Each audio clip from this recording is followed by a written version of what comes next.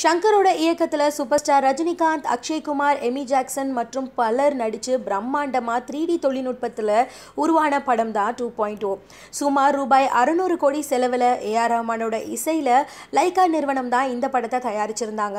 போன வருஷம் நவம்பர் மாதம் இருபத்தி எட்டாம் தேதி இந்த படம் வெளிவந்து ரசிகர்கள்கிட்ட நிறைய வரவேற்பை பெற்று வசூலை குவிச்சிச்சு அப்படின்னு தான் சொல்லணும். இந்த படத்தை இப்போது சைனாவில் ரிலீஸ் பண்ண போகிறாங்க அதுக்கான வேலைகள்லாம் நடந்துட்டுருக்கு அப்படின்னு நியூஸஸ் வெளியாச்சு.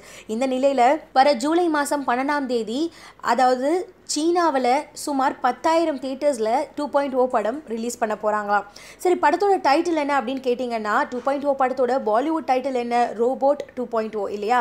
அந்த டைட்டிலை சீன மொழியில் சைனீஸ் லாங்குவேஜில் வந்துட்டு மொழிபெயர்த்து கீழே வந்து சப்டைட்டிலில் ஆங்கிலத்தில் இங்கிலீஷில் வந்து சப்டைட்டில் கொடுத்து இந்த படத்தை ரிலீஸ் பண்ண போகிறாங்களாம் இந்த படத்தை சைனாவில் ஹெச்ஒய் அப்படின்ற நிறுவனம் தான் வெளியிட போகுது அப்படின்னு சொல்லிட்டு இருக்காங்க. ஸோ டூ பாயிண்ட் ஓ திரைப்படம் வந்துட்டு சைனாலையும் கலக்கிட்டு வரப்போகுது. அப்படின்னு நம்மலாம் வந்து தெரிஞ்சுக்கிட்டோம் இதை வச்சு. ஸோ இதை வந்துட்டு ஏஆர் ரஹ்மான் அவரோட ட்விட்டர் பேஜில் போஸ்ட் பண்ணியிருக்காரு.